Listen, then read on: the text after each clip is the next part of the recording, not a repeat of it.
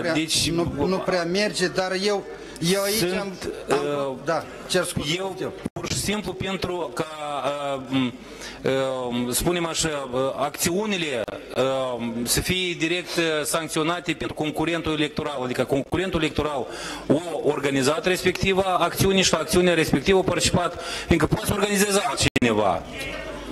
E din Valera, Gura. Nu știu, domnul Zagorodnei, deci e, nu sunt eu unicul autor, eu de pildă am o tălmăcire sau lămurire la ceea ce spuneți dumneavoastră. Să nu uităm că concurent electoral, chiar dacă nu este pe listă, este întreaga formațiune politică. Este partidul sau nu, el este concurentul electoral. Și dacă cineva poate să zică eu nu candidez la funcția de primar, dar venind din partidul ăsta fac agitație împreună cu un cetățean străin, eu consider aici că este implicat concurentul electoral din care face parte, cel chiar dacă nu este în lista electorală. Domnul Zagorod, nu mai aveți ceva de precizat? Vă mulțumesc frumos. Domnul Ceban. Mulțumesc mult, domnul președinte. Ion Ceban, uh, fracțiunea socialiștilor. Domnule Deleu, nu știu ce formațiuni sunteți voi politici, dacă așa de mari și tari vă țineți, dar vă temeți de blesteașie. Asta e așa, printre altele.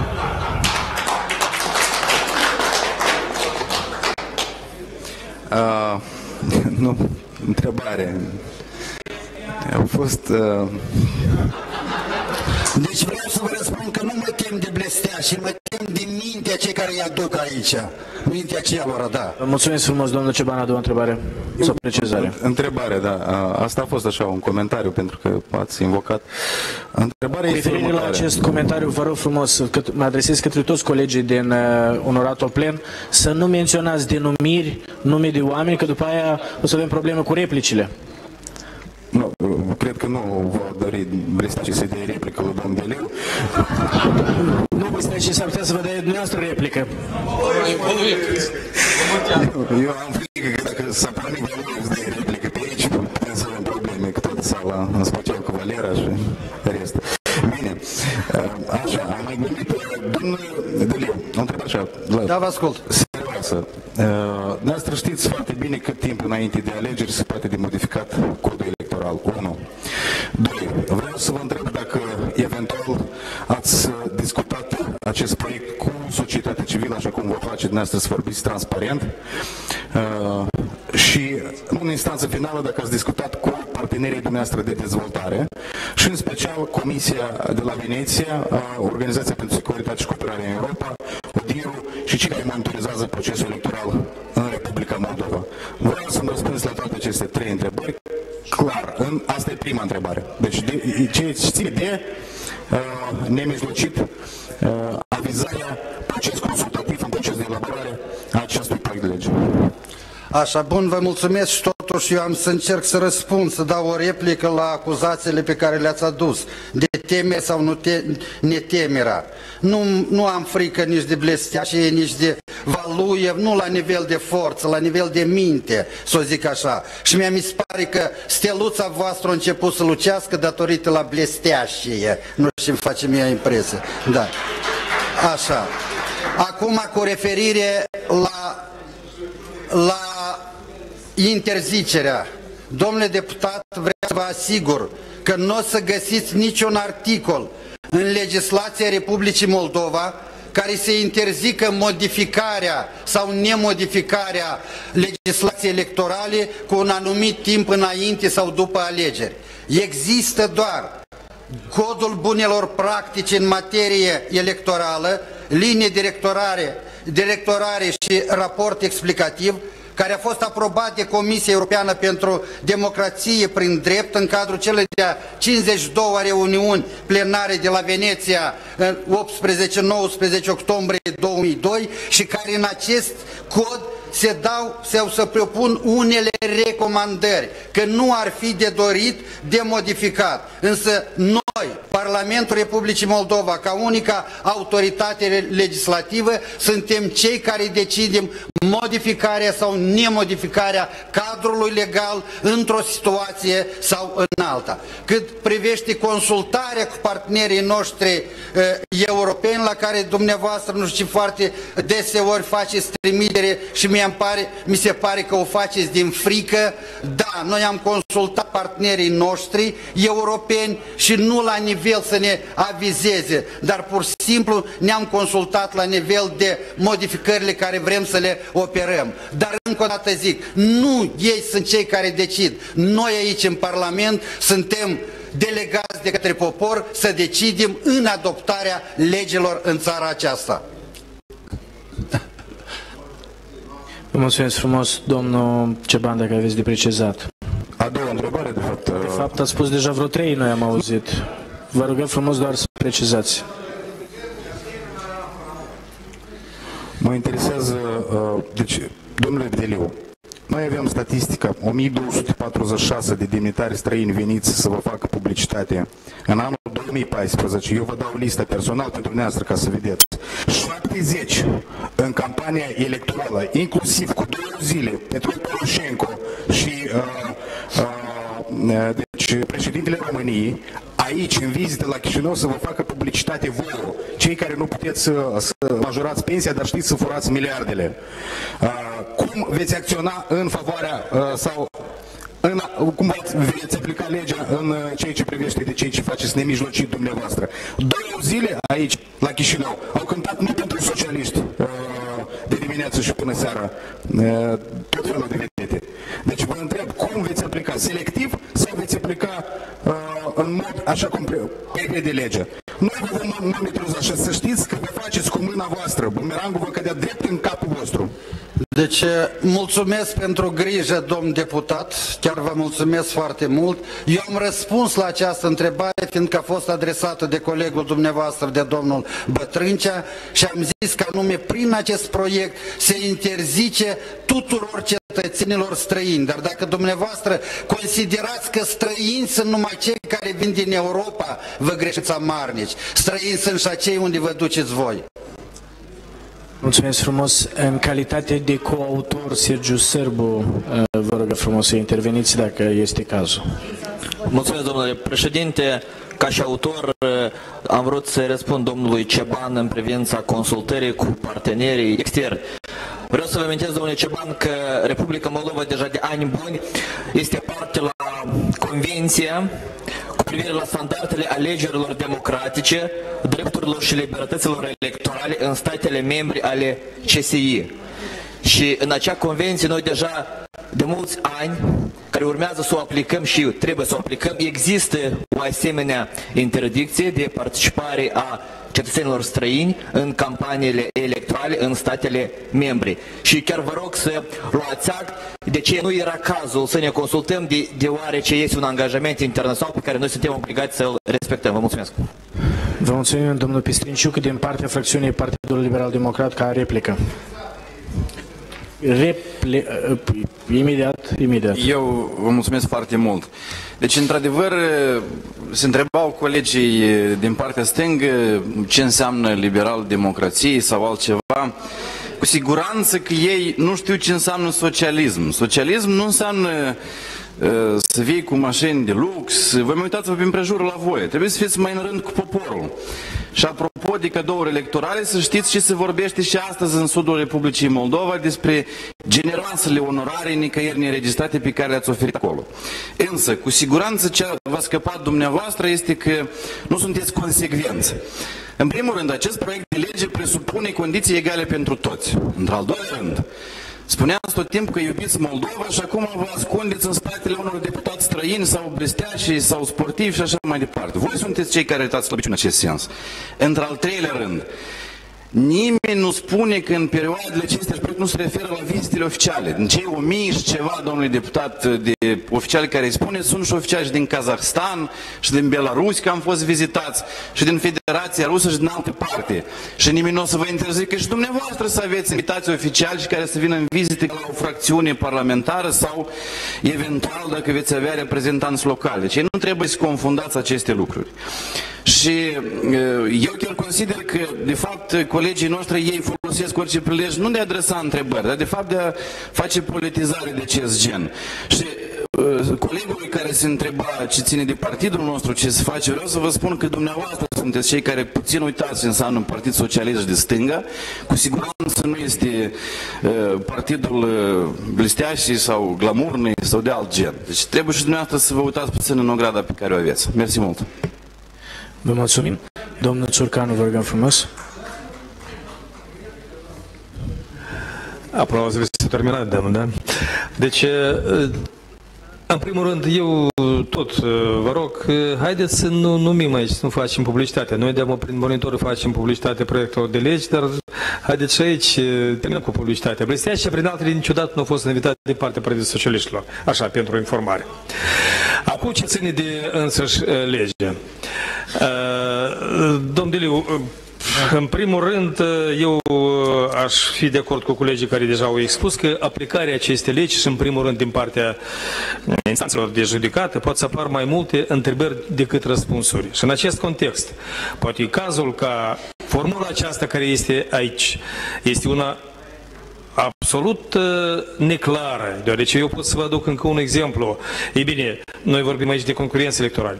A venit unul pur și simplu, o persoană absolut care nu are nimic nici cu un partid X, Y și așa mai departe. Dar o să facă deci, concerte cu glamurne, cum a propus cineva aici și așa mai departe. Uh, de ce eu, propunerea mea, până la adoptarea acestei legi, lectura a doua, să vă consultați, inclusiv și cu Procuratura Generală, cu uh, Curtea Supremă de Justiție. Este așa o practică, legile trebuie să fie consultate până la adoptarea, pentru că după aceea să nu apară necesitățile de a interpreta uh, momentele de aplicare și așa mai departe. Asta e prima, ca o propunere. Acum întrebare. Deci, totuși când va fi aplicabilă această lege, având în vedere că deja este demarat procesul electoral a Camarei Electorale.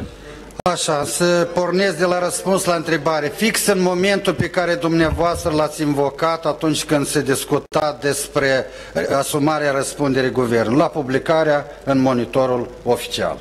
Atunci vă întreabă. În pofida faptului că compania deja merge electorală. Nu merge nicio... Comp- Dacă aici este de discuție, noi vorbim de agitație electorală și nu de perioadă electorală, care sunt două lucruri diferite.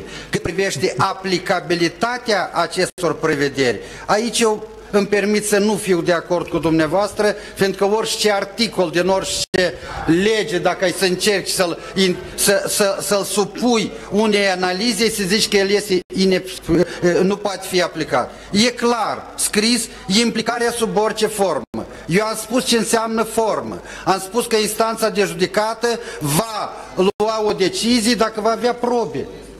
Vă mulțumim, păi domnul Țurcan, aveți deci, Eu așa am înțeles că, uh, evident că acest proiect care este astăzi înregistrat, dumneavoastră pur și simplu n-ați dovedit să-l consultați cu uh, cei care după ea vor aplica.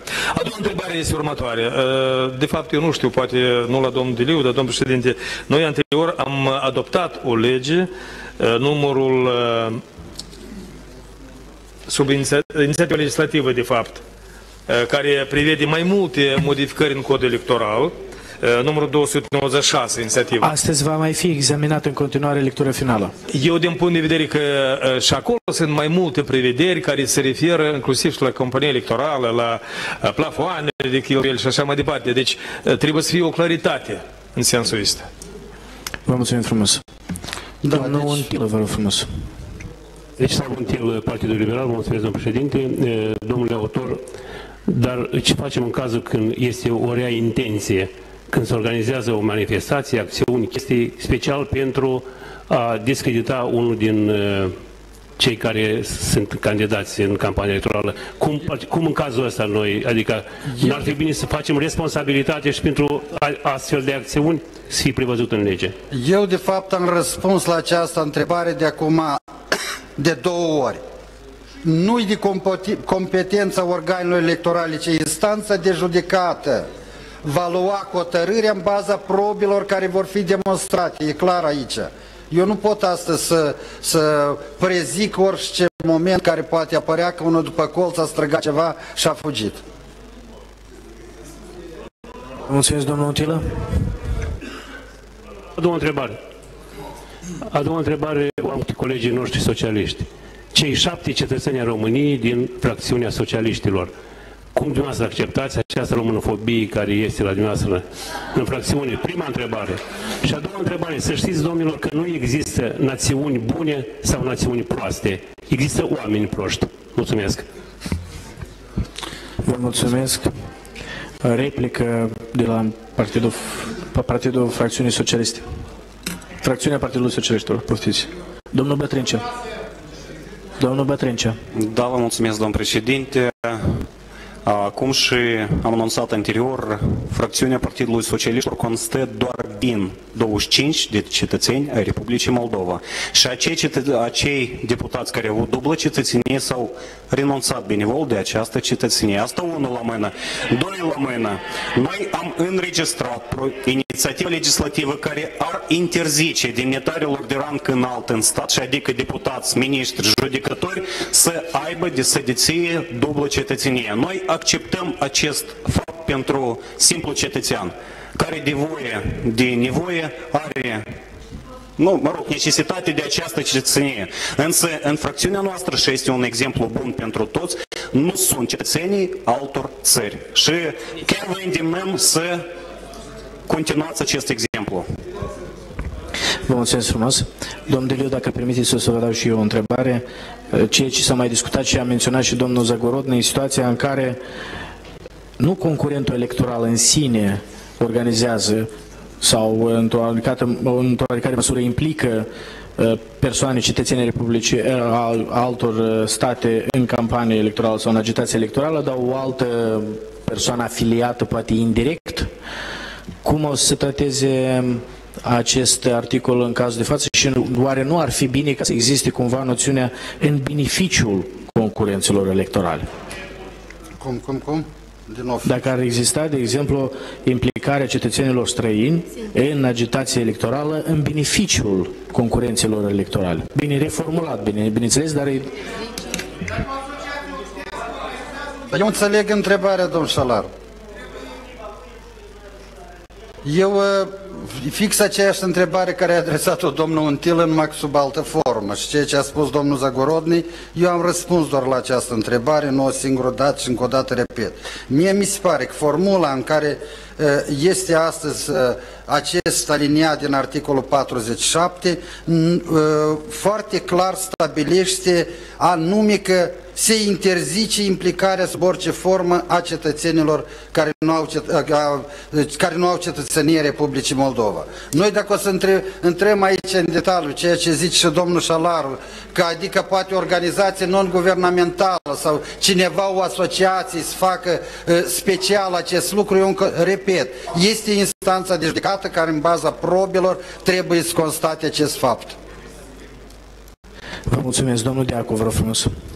Stimați colegi, eu, uh, ca și unii dintre dumneavoastră, mă simt incomod uh, că noi am ajuns în situație să discutăm uh, probleme de felul ăsta. Însă, vă rog să mă credeți și dumneavoastră înțelegeți foarte bine că e greu de presupus astfel de situații în Germania, în Franța, în Statele Unite, să vină un Valuiev sau sau un portret cu Putin sau să vină Băsescu și să fie influențat votul electoratului. Țări ca Republica Moldova, Firavi, încă, Gingașă, dacă vreți, se confruntă cu astfel de probleme. De aceea, sigur că noi trebuie să avem grijă nu numai de securitatea statului, dar și de securitatea votului și de influența votului și noi știm uh, care sunt realitățile Republicii Moldova. Este un proiect din două propoziții. Este un proiect care ne ajută ca să privim uniform această chestiune. Nu o să poată veni să facă propagandă nici Vasescu, nici Putin și nici Valuiev doar de o să idee cetățenie și atunci el o să fie cu cetățenie moldovenească. Înțelegeți? De ce eu propun, domnule președinte, au luat cuvântul reprezentanții tuturor grupurilor parlamentare, de multe ori, 108, 108 articol, o punem la vot și propunem comisiei. Și la comisie o să aveți dreptul să mai puneți câte o întrebare. Vă mulțumesc. Sunt obligat potrivit regulamentului să pun la vot implicarea, uh, impli, aplicarea articolului 108. Vă rog frumos, cine este pentru invocarea și aplicarea articolului 108, vă rog frumos să votați. Majoritatea. Stimate domnule Bolea, de procedură poftiți. Domnul președinte, acest uh, proiect de lege, conform articolul 58 din regulament, trebuia să aibă, uh, această inițiativă trebuia să aibă numai decât avizul guvernului. Am să argumentez, am, am să argumentez de ce. Uh, dacă ca și consecință, partidul uh, sau concurentul electoral, în urma uh, acestor modificări la lege, urmează să fie exclus din campania electorală, atunci toate uh, banii care sunt în contul acestui concurent electoral se varsă la bugetul de stat. Deci, are loc majorarea veniturilor la bugetul de stat. Avizul guvernului este obligatoriu și în conformitate cu uh, articolul Domnul Bolea, vă 58 V-ați depășit. Sincer, articolul 58 trebuie citit, bineînțeles, în colaborare și cu articolul din Constituție care se referă la cheltuieli bugetare. În acest, această logică, orice proiect de lege din Parlament ar putea să aibă la un moment dat anumite efecte prin instanțe judecată și prin alte. De aceea, haideți, aveți tot, toată posibilitatea să vă adresați sau să sesizați Curtea Constituțională. În continuare, invit în, la tribuna principală doamna Raisa Polski, președintele Comisiei Juridice, pentru a, a prezenta raportul Comisiei. Vă mulțumesc frumos!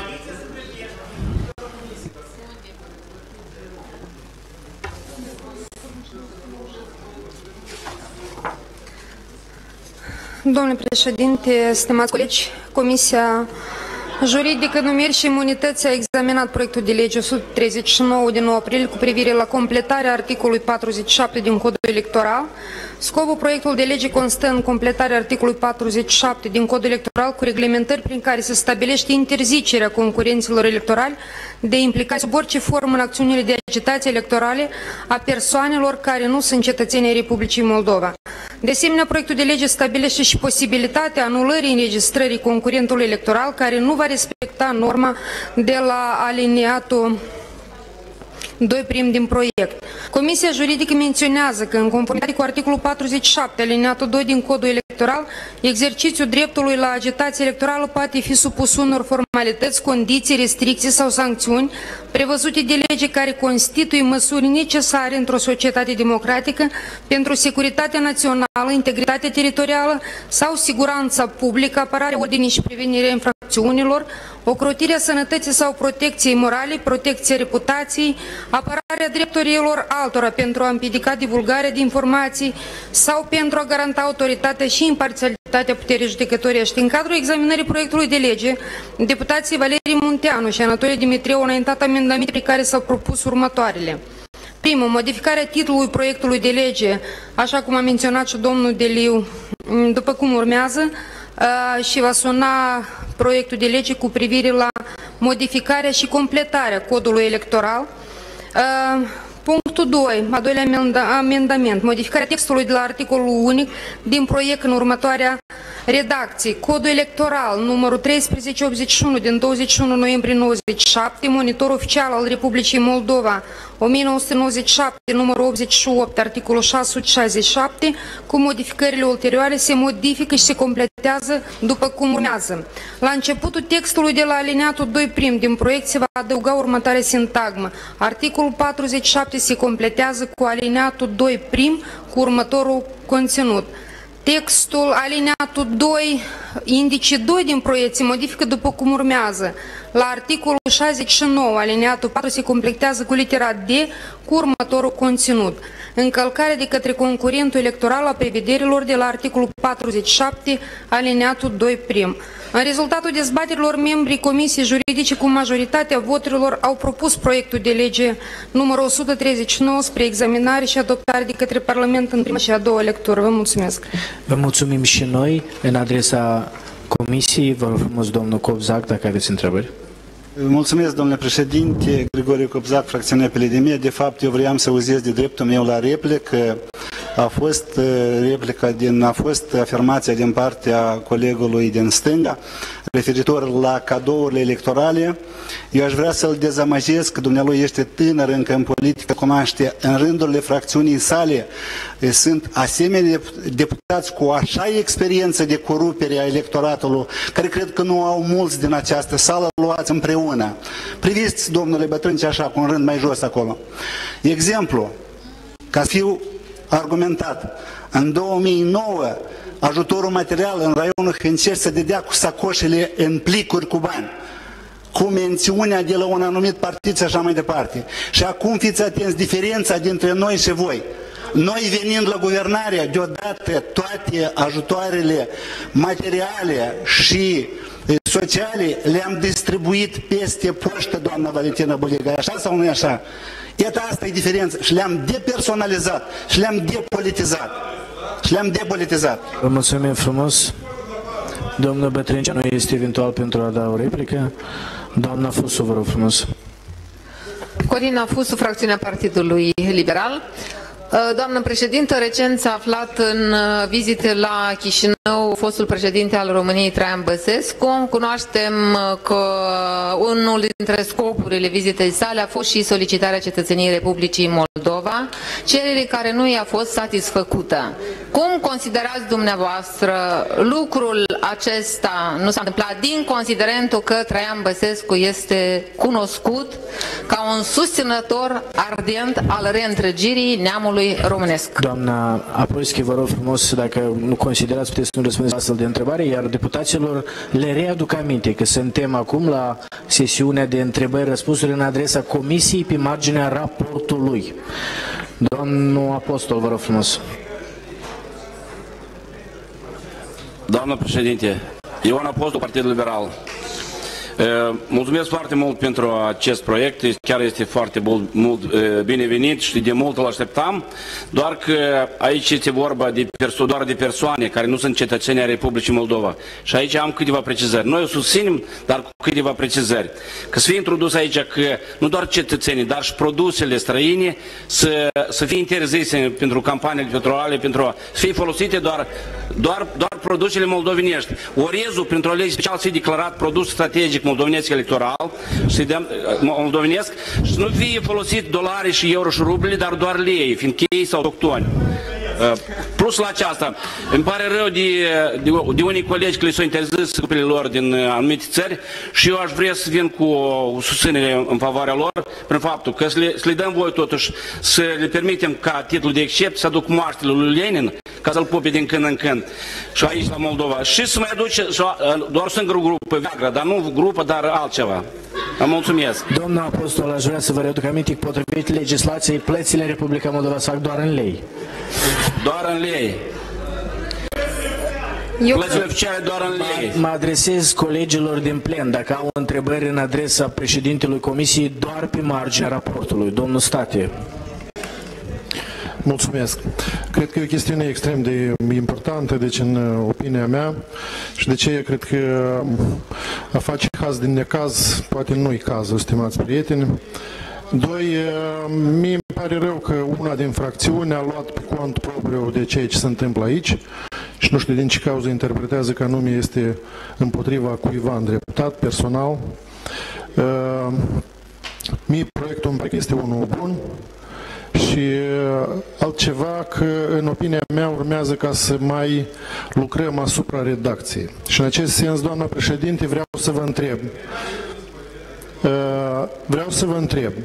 Dacă poate fi în acest sens calificat, spre exemplu, implicare în procesul electoral, apariția unor billboard-uri cu, cu poze făcute de cineva, cu cineva, și atunci, în condițiile astea, dacă acest lucru poate fi calificat ca o implicare directă a unui concurent electoral, deci în folosirea, utilizarea uh, subiectului tocmai care îl dezbatem astăzi.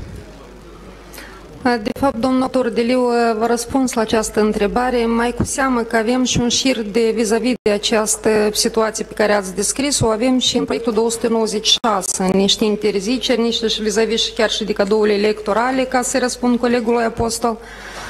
Este adevărat, asta ar fi o,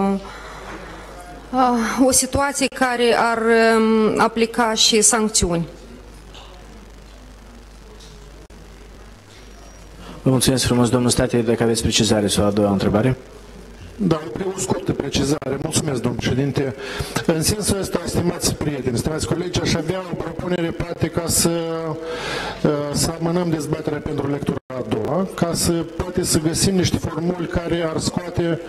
Da care ar scoate din uh, formulările astea care, mă rog, să găsim uh, inclusiv în comisii, poate niște, niște formulări absolut clare. Eu vreau să vă, eu vreau să vă, vă zic că de fapt aici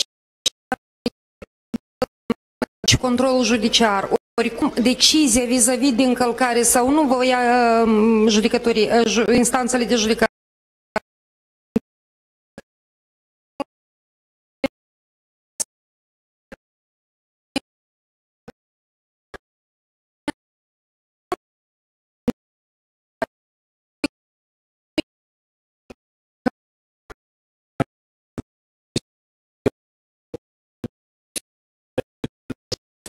luând în considerare, bineînțeles, și stenograma de astăzi din Parlament.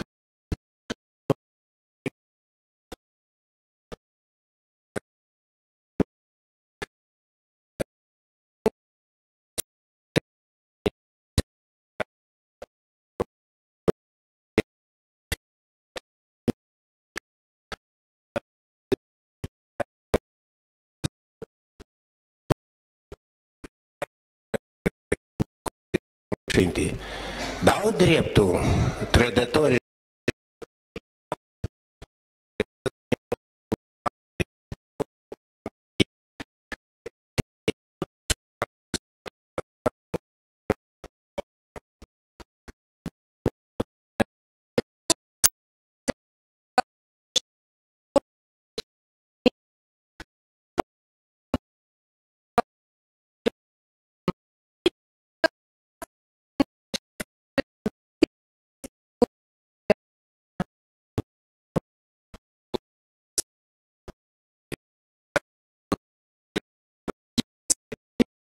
Liu, care din motiv politic propune această inițiativă. Însă eu nu pot înțelege de ce dumneavoastră, ca conducătoare a acestei comisii de profil, mergeți în întâmpinarea aceasta. Să știe faptul că legea primită în grabă întotdeauna are lacune, care mai degrabă sau mai târziu se ved.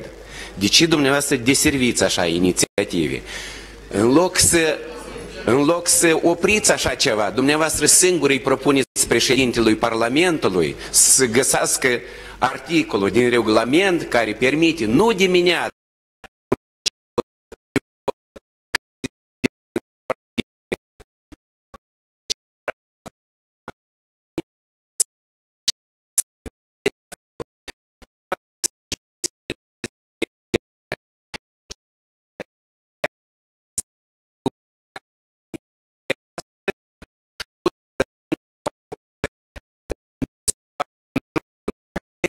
timpul lor de modificat legislația. Dacă inițiativa este a dumneavoastră, atunci spune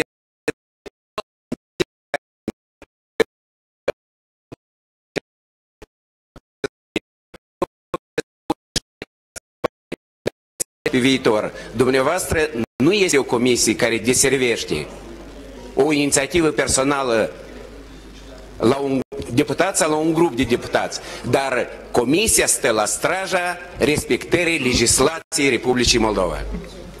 Eu vă mulțumesc pentru lecția de moralitate care mi-ați ținut, dar cred că era de prisos.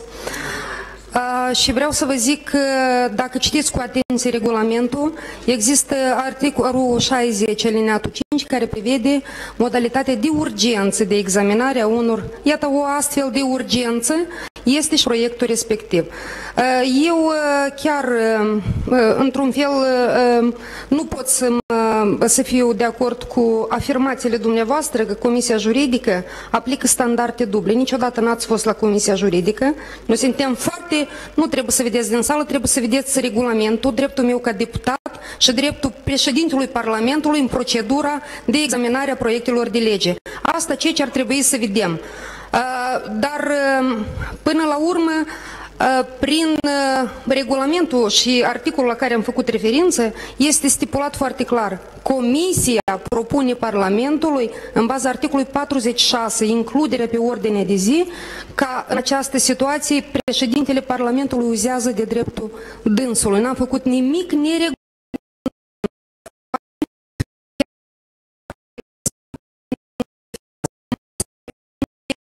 de atitudine pe care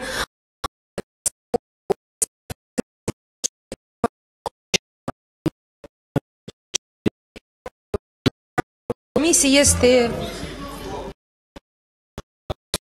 Președinte, calmați-vă, vă rog, 108, 108. Noi azi numai de 108 auzim.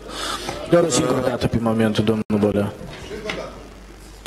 Domnul președinte, regulamentul Parlamentului are un articol 54 unde clar este scris că proiectul de act legislativ și propunerea legislativă să transmit spre avizare complexă. Direcției juridice, iar avizul referitor la trebuie să fie aviz referitor la concordanța proiectului sau propuneri legislative cu prevederile Constituției, cu tratatele internaționale, cu cerințele de procedură și de tehnică legislativă. Spuneți, vă rog, a primit Comisia avizul direcției juridice a secretariatului? Stimate coleg, eu numai ce am răspuns la întrebare. Noi am mers procedura de urgență în seama acestui, pe marginea acestui proiect de lege și evident nu s-a primit acel aviz pentru că uitați-vă la data, la consecutivitatea acțiunilor și atunci o să vedeți, o să vedeți că deci nimic neregulamentar nu am făcut-o. Domnul Reitman, vă rog frumos. Da, mă scuzați, domnul, numai, numai puțin, domnul Reitman, mă scuzați. Jal... Domnul Reitman, numai puțin, domnul Bolea, da, vă rog frumos, a doua întrebare sau precizare? Precizare. Atunci trebuie să înaintăm acest proiect guvernului, ca el să-și asume responsabilitatea, cum a făcut-o azi pe alte patru proiecte, să mergem mai departe. La ce nu întrebă Parlament? Dacă noi avem un regulament și noi nu ținem cont de acest regulament. Când trebuie, votăm cu 30 de, de voturi 5 proiecte de legi, când trebuie, bă, nu ținem cont de acest regulament, mergem dimineața, s-a înregistrat proiectul respectiv de lege, la amiază deja s-a introdus și s-a votat. Pentru ce? Stimate coleg, eu chiar nu vă înțeleg poziția. Dimineața, la aprobarea ordinii, zi insistați asupra unui proiect 110, dacă nu mă înșel, și cu multă ardoare care încă nu a intrat în circuitul parlamentar. Și cu atât ardoare ați încercat să ne convingeți că este regulamentar și trebuie și suntem obligați. Până la urmă, astăzi, după masă, s-a schimbat regulamentul sau poate eu ceva nu urmăresc. Da, vă mulțumim frumos, domnul Reitman. Domnul Bolea, este destul. Domnul, domnul Reitman. Да, спасибо. Жалко, жалко, что ушел господин Брега, но я бы хотел ему сказать, что этот закон не только а, относительно тех приезжих, которые дискредитируют символы Молдовы. Этот закон также позволяет, не, вернее, не позволяет возить молдавскую землю в горшках и фотографироваться с теми, кому ее предоставляют за границей. Поэтому я бы хотел предложить нашему президиуму применить статью 108 закончить дебаты. Baza regulamentului Pun la vot aplicarea articolului 108, încheierea dezbaterilor. Cine este pentru, vă rog frumos să votați. Majoritatea din plen a decis încheierea dezbaterilor la acest subiect. Vă mulțumim frumos, doamna Apolski. Avem o, scrie, avem o înscriere la luările de cuvânt. Domnul Ion Ciobanu, poftiți.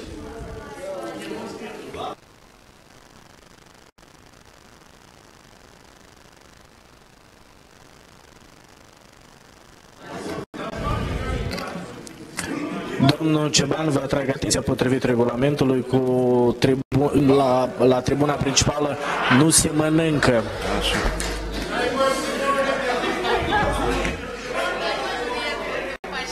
Din partea fracțiunii să înțelegem că aveți șapte minute la dispoziție. Uh, stimați colegi, da, uh, eu uh, intenționat v-am adus v-am adus uh, simbolul uh, integrării dumneavoastră. Iată, aici vă integrați dumneavoastră. Pentru că ceea ce faceți dumneavoastră nu poate fi numită democrație. nici într-un caz nu poate fi numită democrație. Eu, apropo, întâi de toate aș fi vrut să vă dau câteva replici. Domnul Apostol, dacă aveți nevoie de Viagra, eu cred că pot să arunce fiecare membru a Partidului Liberal și să vă cumpere uh, niște pastile acolo.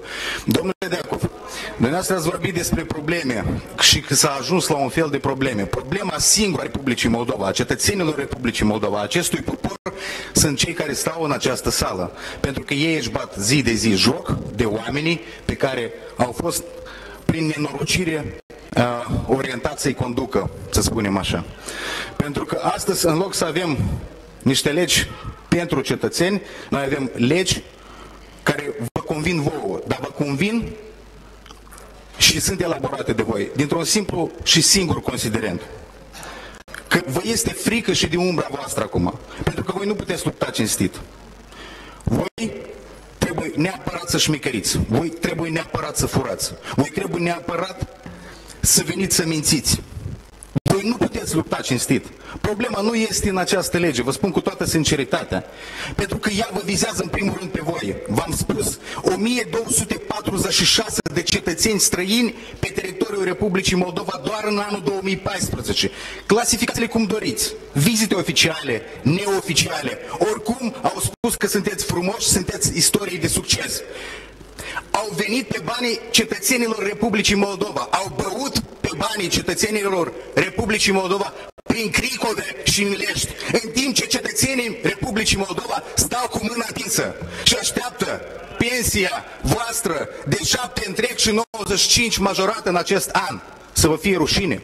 Nu puteți lupta cinstit, pentru că de la modificarea referend, uh, legii cu privire la uh, organizarea referendumurilor, codului electoral, tentativele asupra Constituției, privarea dreptului de, uh, nu știu, libertate în ceea ce ține de mass media și tot așa mai departe. Este felul dumneavoastră de a înțelege democrația. Nu fugiți foarte departe, credeți-ne. Nu o să fugiți foarte departe, pentru că oamenii nu o să vă ierte nici miliardele furate și nici jocura socială pe care o faceți prin spitale, la grădiniți, la școli, șco școli universități. Nu știu cum priviți în ochii bătrânilor. Și credeți-mă, orice ați face, nu vă mai scapă de ceea ce vă doriți voi să vă țineți cu uh, dinții de putere. Nu vă va mai reuși în continuare. Indiferent cum, indiferent ce. Vă repet, la concertele dumneavoastră au cântat cei din străinătate, nu la, aia, nu la ele noastre. Ziarele voastre abundă cu tot felul de lucruri și experți străini. Peste 70 de vizite, vă, vă reamintesc, doar în campania electorală, care v-au spus că sunteți, Doamne ferește, ce de frumoși. Uitați-vă în oglindă să vedeți cât de frumoși sunteți și ieșiți prin stradă și mai duceți-vă pe la piață să vă spună lumea ce mai crede despre voi și cât de tare vă mai iubește. Vă mulțumesc mult. Democrația s-a stins în Republica Moldova cu voi. Vă mulțumim. Domnul Ion, a lăsat, domnul Ion Ceban a lăsat bananele pentru următorul vorbitor, probabil. Se supune votului. Înainte de a pune votului, am uh, obligația să întreb pe domnul Diacov și domnul Brega dacă vor să dea replică. Vă mulțumesc frumos. În continuare se pune votului, se supune votului pentru prima lectură proiectul de lege cu privire la completarea articolului 47 din Codul Electoral numărul 139 din 9 aprilie 2015. Cine este pentru? Vă rog frumos să votați. Majoritatea în plen a votat în prima lectură proiectul de lege. Potrivit propunerilor Comisiei Juridice se supune votului pentru lectura a doua și ultima proiectul legii 139 din 9 aprilie 2015 ce ține de completarea articolului 46 din 47 din codul electoral. Cine este pentru, vă rog frumos să votați. De procedură urmează după vot, pe exercițiu de vot. Cine este, vă rog frumos, rezultatele pe sector. Am înțeles, am înțeles. Acum, acum schimb rezultatele inițial și după aia discuții. Sectorul 1.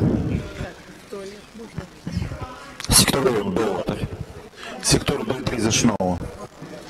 Sectorul 3, 27 de voturi.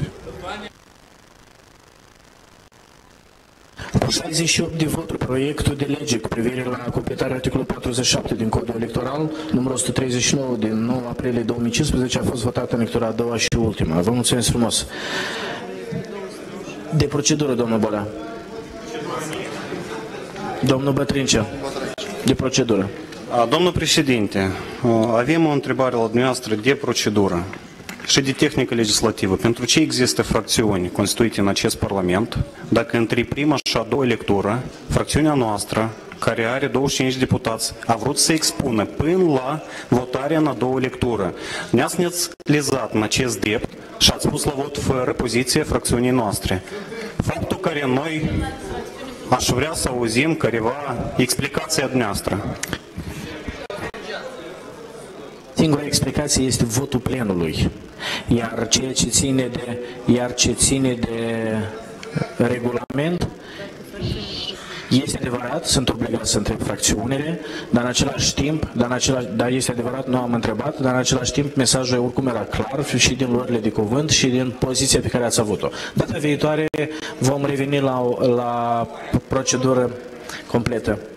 Doamna Apolski, vă rog frumos să prezentați proiectul numărul 296 în lectura finală, proiect de lege pentru modificarea și completarea unor acte legislative.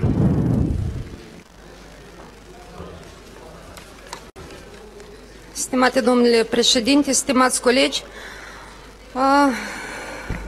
Comisia Juridică Numiri și Imunități a examinat pentru lectura finală proiectul de lege 296, prin reglementările proiectului se propune stabilirea surselor și condițiilor de finanțare a partidelor politice și campaniilor electorale, a modalităților de raportare, precum și a mecanismului de supraveghere și sancționare a încălcării legislației în domeniul finanțării partidelor și a campaniilor electorale. Proiectul de lege a fost adoptat vreau să menționez în lectura a doua de către plenul Parlamentului la data de 19 martie 2015. În cadrul pregătirilor proiectului de lege pentru lectura a doua, Comisia Juridică a examinat și amendamentul deputatului Sir, Sârbu Serghei, numărul 72 din 8 septembrie 2014 și a constatat că acesta implică majorarea cheltuielilor la bugetul de stat. În temeiul articolul 131 din Constituția Republicii Moldova și articolul 58 din legea cu, pentru adoptarea regulamentului, Orice propunere legislativă sau amendament care atrag majorarea sau reducerea veniturilor bugetare sau împrumuturilor, precum și majorarea sau reducerea cheltuielilor bugetare pot fi adoptate numai după ce sunt acceptate de guvern. În acest sens, Comisia a solicitat avizul Guvernului asupra amendamentului în cauză, în cadrul ședinței Comisiei Juridice a fost examinat avizul Guvernului aprobat prin hotărârea 161 din 8 aprilie 2015, prin care Guvernul susține parțial amendamentul în cauză drept urmare, domnul deputat Sârbu Serghei a anunțat că retrage parte de reglementare propuse prin amendament care nu au fost susținute de către guvern. În rezultatul examinării, Comisia Juridică Numeri și Imunități, cu majoritatea voturilor, propune plenului Parlamentului adoptarea proiectului de lege 297 6 în lectură finală. Vă mulțumesc. Și noi vă mulțumim. Întrebări în adresa comisiei pe marginea raportului, doamna Corina Fusu. Întrebări. Da, Corina a fost fracțiunea Partidului Liberal. Doamnă președinte Apolski, eu mă adresez cu toată seriozitatea tuturor colegilor din Parlament pentru că uh, sunt convinsă, sunt convinsă că promovarea tinerilor și femeilor de către partidele politice este un drum spre democrație. Nu știu de ce un amendament propus uh, comisiei dumneavoastră spre examinare care prevede distribuirea anumitor procente pentru partidele care promovează tinerii și femeile, comisia dumneavoastră a considerat că este discriminare. Comisia de la Veneția s-a expus pe marginea acestei idei și din potrivă a considerat că este discriminare pozitivă și la etapa necesară de dezvoltare a democrației în Republica Moldova e necesar și trebuie să încurajăm promovarea tinerilor și femeilor. Iată de ce aș ruga plenul Parlamentului și în special doamnele și tinerii din această sală să uh, supunem votului astăzi amendamentul care prevede încurajarea promovării tinerilor și femeilor. Dacă e nevoie, pot să-l dau citire, dar dumneavoastră îl aveți în comisie. Doamna Polski, în general, în lectură finală s-ar admite astfel de... Doamna Corina Fusu, ne pare rău, în lectură finală amendamentele nu se pun la vot. Valeriu Munteanu, vă rog frumos. Era cazul la lectură. Valeriu Munteanu, fracțiunea Partidului Liberal. Doamnă președintă a Comisiei, am spus acest lucru și la Comisie, în situația în care acest proiect extrem de important pentru democrație din Republica Moldova, numit uh, finanțarea partidelor politice din punctul nostru de vedere, dar și al uh, multor reprezentanți ai societății civile, organismelor internaționale, prevederile pe care le-ați uh, adoptat nu și ating obiectivele și anume securizarea partidelor de ingerințele uh, oligarhice Uh, și a celor care vin cu donații foarte mari în campania electorală și era foarte simplu să, accept, să acceptați acest lucru. Fracțiunea Partidului Liberal nu va vota în lectură finală acest proiect de lege pentru că din punctul nostru de vedere se mimează uh, o reformă și uh, nu se va ajunge la finalitatea pe care și-o doresc uh, cetățenii Republicii Moldova, partidele politice, dar și cei care uh, ne uh, supraveghează și încearcă să ne îndrepte pe drumul cel drept. Mulțumesc foarte mult! Stimate coleg, vreau să vă aduc aminte, suntem la lectura finală, ceea ce nu presupune să intrăm în dezbatere în esența proiectului propriu zis. Dacă ați avut o constatare și ați vrut să fiți auziți, cred că ați, ați fost auzit. Vă mulțumesc frumos. Că nu mai sunt întrebări în adresa comisiei. Vă mulțumim frumos, doamna Polski. Rog toți deputații să iei locul. Trecem la procedura de vot. Se supune votul pentru lectura finală. Rog toți colegii și în mod special fracțiunile să-și mobilizeze deputații pentru a mai ales cei din coaliție și colegii din Partidul Liberal la fel. Nu sunteți toți, vă lipsește liderul. E omniprezent, da. În continuare se supune examinării Proiectul de hotărâre cu privire la bugetul Parlamentului pentru anul 2015, numărul 126, din 3 aprilie 2015, îl rog frumos pe domnul uh, Ștefan Creangă să prezinte în calitate de autor și inclusiv ulterior ca președinte a Comisiei Economice și Finanțe raportul Comisiei.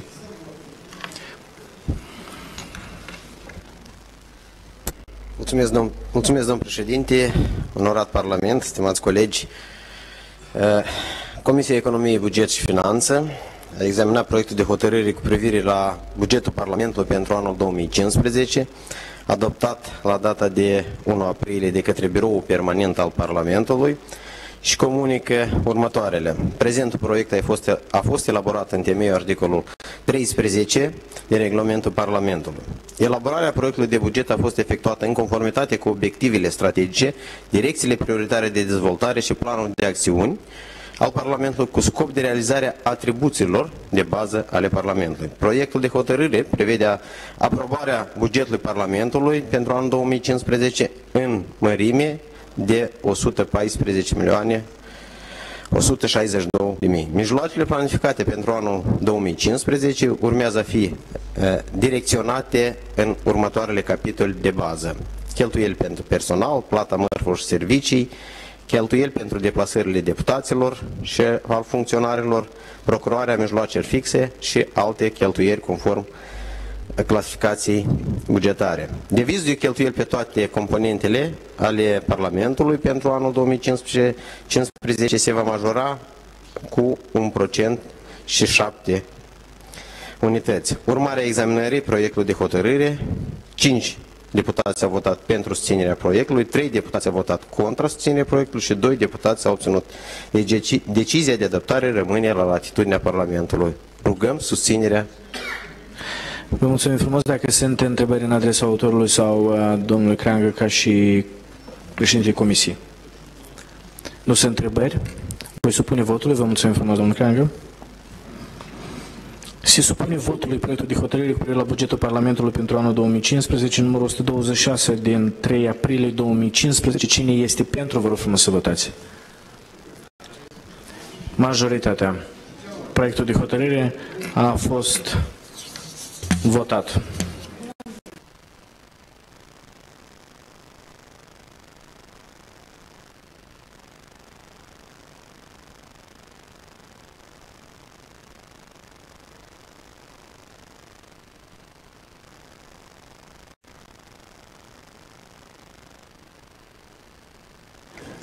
Се сопуни екзаменери проектот и хотелери при Винт eliberarea din funcție de vicepreședinte al Curții Supreme de Justiție și președinte al Colegiului Civil, Comercial și Contencios Administrativ, numărul 133 din 8 aprilie 2015, numărul 14 pe ordinea de zi, doamna Reisa Polski, în calitate de autor și președinte Comisiei Juridice Numiri și Imunități, vă rog frumos să prezentați raportul.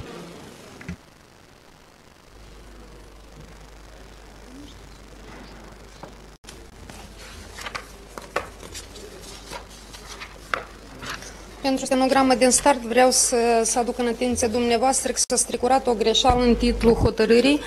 De fapt, am menționat-o pentru la, înainte de aprobarea ordinii de zi, de zi și vreau uh, să menționez că uh, Denumirea hotărârii este privind eliberarea din funcție de vicepreședinte al Curții Supreme de Justiție și președinte al Colegiului Civil, Comercial și de Contencios Administrativ a unui judecător de, al Curții Supreme de Justiție. Vreau să fie notat pentru o stenogramă. Vă mulțumesc. Și acum raportul Comisia Juridică Numiri și Imunități a examinat proiectul de hotărâre 133 privind eliberarea din funcție din funcție de, de vicepreședinte a Curții Supreme de Justiție și președinte al Colegiului Civil Comercial și de Contencios Administrativ, a doamnei Filincova Svetlana, Comisia Juridică a examinat de asemenea și hotărârea Consiliului Superior al Magistraturii din 7 aprilie, prin care a fost admisă cererea de demisie din aceste funcții administrative și s-a propus Parlamentului eliberarea doamnei din funcțiile de vicepreședinte al Curții Supreme de Justiție și președinte al Colegiului Civil, Comercial și de Contencios Administrativ. În conformitate cu articolul 25 alineatul 1 litera din legea 544 mm, din iulie 95 cu privire la statutul judecătorului, în cazul depunerii cererii demisie, judecătorul este liberat din funcție de organul care l-a numit. În rezultatul celor expuse, Comisia Juridică a decis în unanimitate să propună plenului Parlamentului pentru examinare și adoptare proiectul de hotărâre din 8 aprilie 2015 și cu permisiunea dumneavoastră să dau citire proiectului de hotărâre. Cu rectificările de rigoare care le-am enunțat mai, sud, mai sus, hotărârea privind eliberarea din funcție de vicepreședinte a Curții Supreme de Justiție și președinte a Colegiului civil, comercial și de contencios administrativ a unui judecător al Curții Supreme de Justiție în temeiul articolul 25 alineatul 1 litera din legea 544 din 20 iulie 95 cu privire la statutul judecătorului, Parlamentul adoptă prezenta hotărâre. Doamna Svetlana Filinkova se eliberează la cerere din funcțiile de vicepreședinte al Curții Supreme de Justiție și președinte al Colegiului Civil, Comercial și de Contencios Administrativ. Prezenta hotărâre intră în vigoare la data adoptării. Vă mulțumesc. Vă mulțumim, vă supune votul la acest proiect de hotărâre. Cine este pentru adoptarea proiectului de hotărâre? Da, mă scuzați, întrebări în adresa comisiei sau autorului, domnul Întilă? Mă scuzați, doamnă președinte, că ați venit înapoi. Veștau Întilă, Partidul Liberal. Dar dumneavoastră cunoașteți motivul de ce se întâmplă aceasta, că doamna Felicova pleacă în aceste funcții? Este cererea dânsei și nu indică motivul și nu este obligatoriu. colegi, noi o să acceptăm, dar o să o eliberăm din funcție. Dar aici noi facem un precedent. Doamna a fost implicată și deschis un dosar penal. Este vorba de trucarea 22 dosare care dumneai le e, direcționa spre ea. Și pe aceste 22 dosare sunt decizii sau hotărâri irrevocabile. Cum o să facem în cazul ăsta atunci? Că a fost încălcată grav legea. Poate noi încercăm procurorul general cel puțin să autosesizeze la ceea ce vă spun eu acum. Nu este vorba pur și simplu că doamna a obosit și vrea să plece din funcție. Nu. nu. Este vorba de o gravă crimă până la urmă. Stimate coleg, dacă ați, eu am, am menționat în special pentru că ea pleacă din funcțiile administrative, judecător rămâne și ceea ce urmează a fi verificat o să se verifice. Pleacă din Uh, din funcțiile administrative pe care le mai are în afară de funcția de judecător. Vă mulțumim frumos. Domnul Întilă, precizare. Mulțumesc mult pentru răspuns. Eu știți, sunt chiar să-i spun că doamna rămâne judecătoare și dacă ar fi în acel colegiu comercial să rămână. Mulțumesc. Asta este denumirea colegiului, ce pot eu face? Nu, și numai cu denumirea. Vă mulțumim, vă mulțumim. Voi supune votului proiectul de hotărâre privind eliberarea din funcția de vicepreședinte al Curții Supreme de Justiție și președinte al Colegiului Civil, Comercial și Contencios Administrativ a doamnei Svetlana Filinkova. În cazul de față, proiectul numărul 133 din 08 aprilie 2015. Cine este pentru? Vă rog frumos să votați. Vă mulțumesc frumos. Revenim la votul proiectul, asupra proiectului 296, proiectul de lege pentru modificarea și completarea unor acte legislative, în lectura finală numărul 296 din 2 iulie 2013. Cine este pentru, vă rog frumos să votați. Numărătorii pe sectoare, rezultatele, vă rog frumos. Sectorul 1, două voturi. Sectorul 2, 40. Sectorul 3, 15. Cu 57 de voturi, proiectul de lege pentru modificarea și completarea unor acte legislative, numărul 296 din 2 iulie 2013, a fost votat în lectura finală și ultima. Vă mulțumim. Luând în considerare subiecte care mai necesită a fi examinate foarte rapid în ședința biroului permanent, declarăm o pauză de 10 minute până la 16 și 40 și vă rugăm frumos să reveniți, iar membrii biroului permanent, doar membrii biroului permanent fără președinți de comisie, vă rog frumos în sala 300, ca de obicei. 500. 500 sau care ar fi ea, mersi mult. Sala 508.